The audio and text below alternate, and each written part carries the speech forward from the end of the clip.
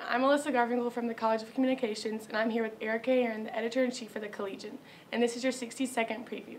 Hi, Erica. So what's going on for the Collegian this week? All right, well, this week we've got a lot of exciting news for you.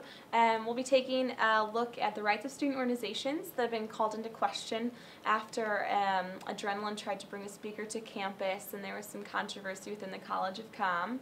Um, we'll also be uh, taking a look at or continuing our Day in the Life series with the Day in the Life of a Great President.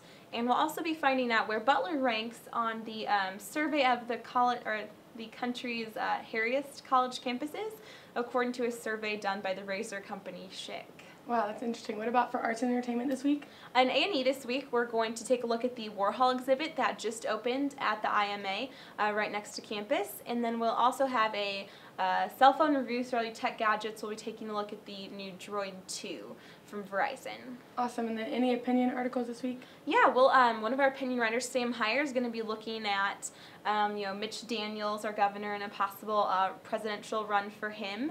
And then our staff ed this week is going to take a look at um, the freedom of speech versus privacy rights in the protesting of military funerals by um, a conservative religious group. That's very interesting. And then, of course, sports. Oh, yeah, we'll have your wrap up of sports this week, everything that played um, this weekend football, volleyball, men's and women's soccer, and then we'll also be taking a look at intramural sports on campus and how those have uh, grown and changed over the last year or so.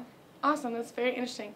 Well, I'm Alyssa Garfinkel from the from the Collegian, and this is your 60 second preview. Get it when it hits the stands on Wednesday or at thebutlercollegian.com. Thanks.